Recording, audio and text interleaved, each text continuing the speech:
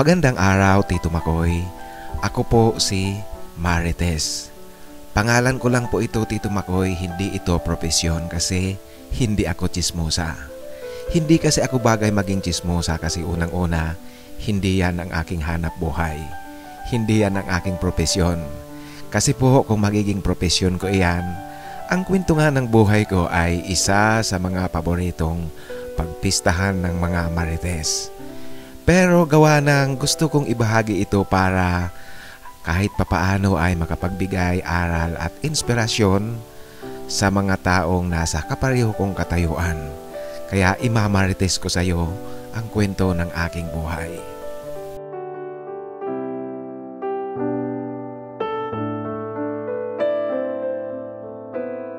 Dati po akong din sa College of Arts and Sciences Department sa isang pamantasan na malapit dito sa bayan namin.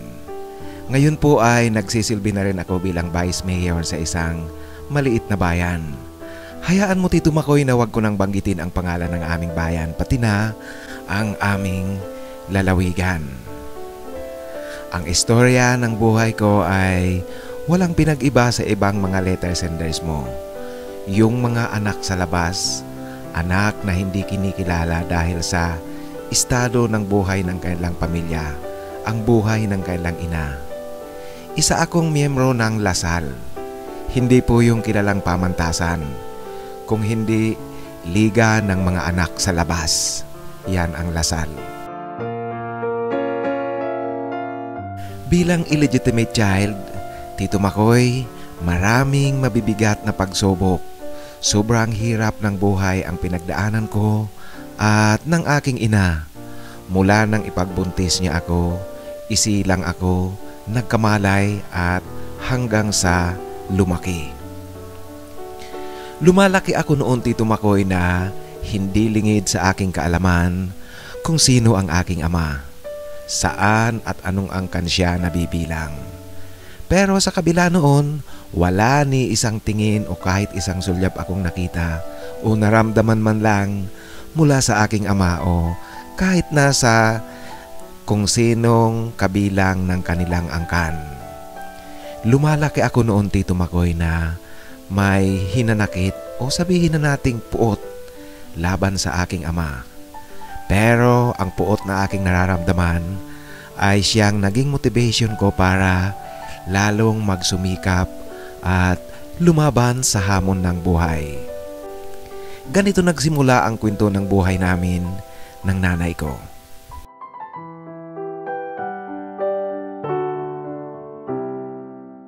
Taong 1987, namasukan ang nanay ko bilang katulong sa bahay ng alkalde ng aming bayan.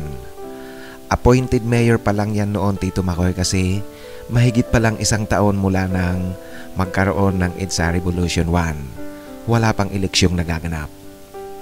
Ang nanay ko high school graduate noon at uh, nang mamasukan siya sa bahay ng mayor sa aming bayan. Maganda naman daw sa una ang kanyang naging karanasan. Maganda ang kalagayan. Politiko kasi ang kanyang amo kaya pagod ng kaunti pero sapat naman ang sahod na binibigay sa kanila at hindi sila nagugutom. Kasi nga ang sabi raw ng mayor noon, kung magugutom sila sa kanyang bahay, kasalanan na iyon ng lahat ng mga kasambahay. Ang nanay ko Tito Makoy ang kanyang trabaho ay ang paglilinis at pag-aayos sa loob ng bahay. Kasi liban sa kanya, meron pa namang ibang mga kasambahay. Ang bawat isa sa kanila ay may kanya-kanyang gawain.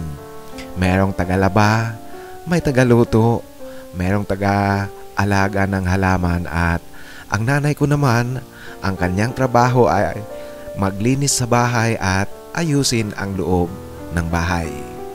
Ang mayor na amo ng nanay ko merong dalawang anak na babae at may isang anak na lalaki. Ang lalaki ay kaidadan ng nanay ko. Itatago ko siya sa pangalang Jameson. Siya Tito Makoy ang naging tatay ko. Si Jameson palibhasa hindi nagkakalayo ang edad nila ng nanay ko. Nakikipagkwentuhan sa kanya ng kung ano-ano. Sa madalas na pagkikwentuhan ng nanay ko at ni Jameson, Naging malapit sila sa isa't isa hanggang sa niligawan ang nanay ko ni Jameson. Tito Makoy, hayaan mong itago ko ang nanay ko sa pangalang Marcy. Sa unang yugto ng panliligaw ni Jameson kay Marcy, ayaw itong patulan ni Marcy kasi ibang-iba ang agwat ng kanilang kalagayan sa lipunan. Anak ng alkalde at ang nanay ko naman katulong sa bahay ng alkalde. Pero dahil sa mabait, matyaga at magiliw raw si Jameson, nakuha niyang mapasagot si Marcy. Dumaan ang mga araw, lumalim at uminit ang pag-iibigan ni na Jameson at Marcy. Nagbunga ang kanilang pagsusuyuan. Nagbuntis si Marcy. Nang sabihin ni Marcy ang kanyang problema kay Jameson, akala raw ni Marcy matutuwa si Jameson. Pero iba ang naging reaksyon nito.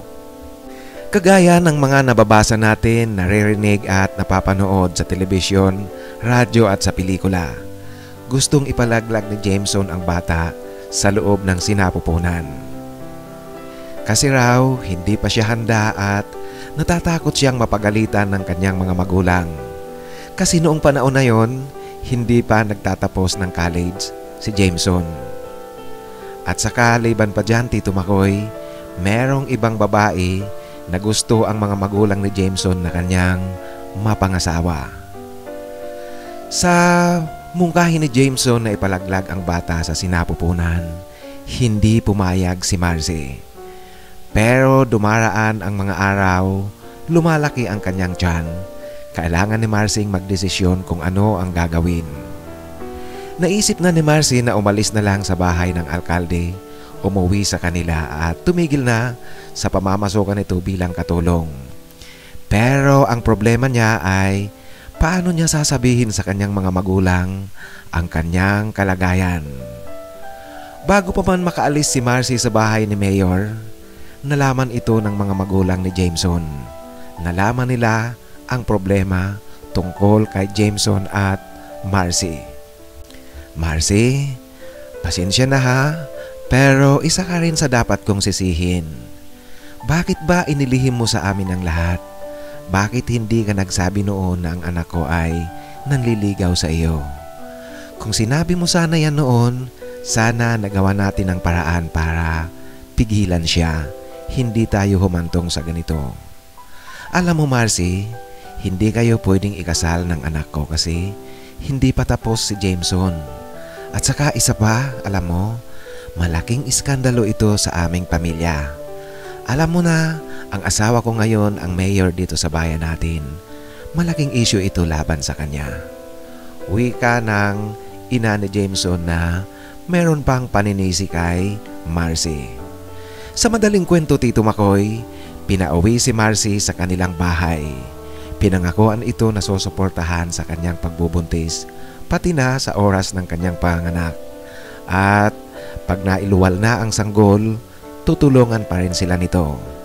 Sa isang kondisyon Tito Makoy na huwag na wag raw makakalabas ang isyo sa kahit kanino na ang ama ng anak ni Marcy ay ang anak ng alkalde sa aming bayan. Walang nagawa si Marcy kung di ang umuwi sa kanila, umaasang tutupad sa pangako ang mga magulang ni Jameson, ang pamilya ni Mayor. Pero lumalaki ng lumalaki ang tiyan ni Marcy.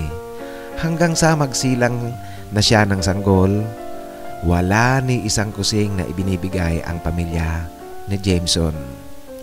Dahil nga sa mahirap lang sila walang pera, hindi nila kayang manganak sa ospital.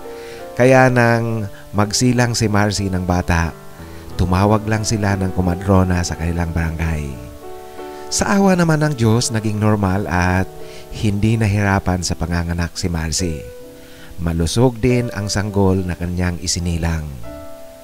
Ako na iyon, Tito Makoy, ang batang isinilang ni Marcy.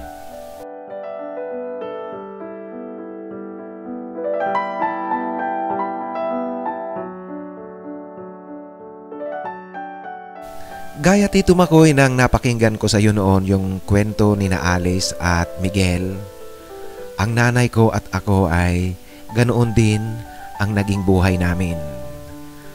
Nagtitinda ng pagkain sa may kalsada ang nanay ko, kasama ako. Mga dalawang taong gulang raw ako noon sabi ng nanay ko. Naglalakad na at nakakapaglaro. Kaya napagsasabay niya ang pag-aalaga sa akin at ang pagtitinda niya ng pagkain. Nang tatlong taong gulang na ako ayon sa nanay ko, kinuha siya ng isang may-ari ng catering business sa lungsod na katabi lang ng bayan namin para magtrabaho sa kanila. Naging mahirap ng kaunti ang sitwasyon kasi kinailangan niya akong iwan sa aking lolo at lola para alagaan buong maghapon habang ang nanay ko ay nagtatrabaho. Pero Tito Makoy naging mainam naman kasi meron siyang steady income na kinikita buwan-buwan ang kanyang sinasahod. Tapos maging ang pagkain namin halos libre na kasi Palaging may dalang pagkain ang nanay ko tuwing umuuwi ito. All around ang kanyang trabaho. Tumutulong sa pagluluto at pagdating ng oras ng catering service, tumutulong din siyang nagsisilbi bilang isa sa mga servidora pagdating sa resepsyon.